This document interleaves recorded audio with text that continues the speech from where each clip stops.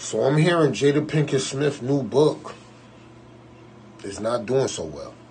You know, and that was actually surprising to me because I'm thinking, you know, you got a book full of Tupac praise and you tossing Will Smith under the bus. They gonna love this one. But you know, people got their Jada lenses on.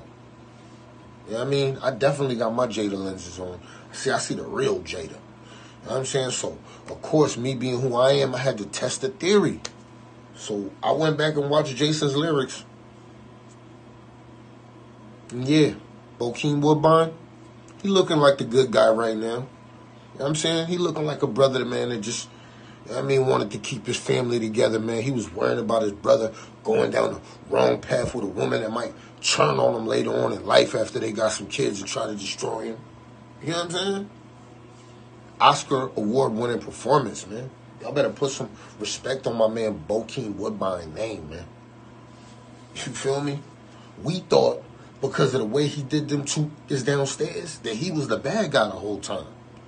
You know what I mean? Now go back and watch it with your Jada lenses on, and the sympathy won't be there.